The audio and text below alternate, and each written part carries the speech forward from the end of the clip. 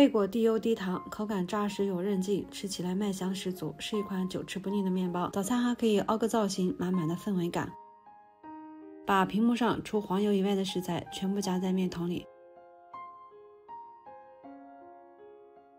波兰种提前一晚做好，我们加五十克进去。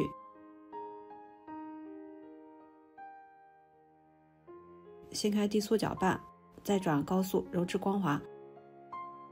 扯开膜是这样的厚膜，再把面团撕碎一点，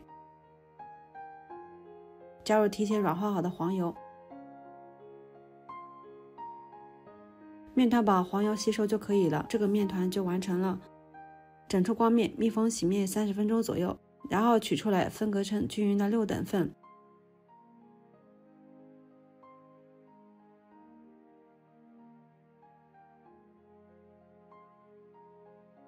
再把面团滚圆，密封洗面二十分钟左右。取一个面剂，擀成长方形薄片，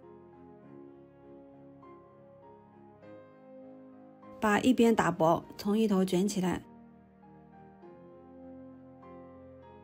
搓成合适的长度，一头剪开擀薄，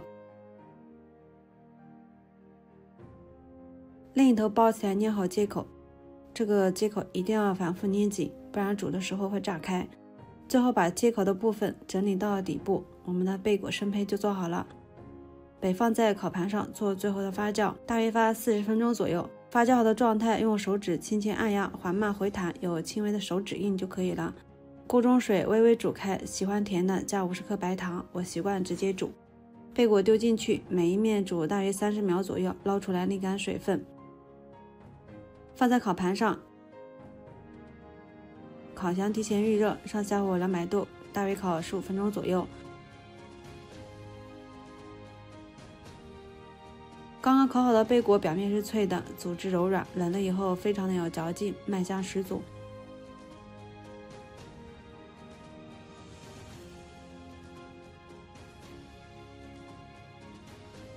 一次可以多做一点，密封冷冻保存。吃的时候解冻，对半切开，空气炸锅或者是平底锅加热一下，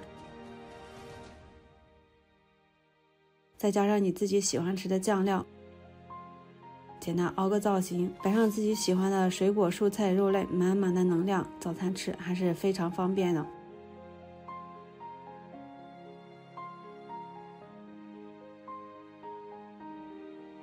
喜欢视频的小伙伴，别忘记点击关注哦。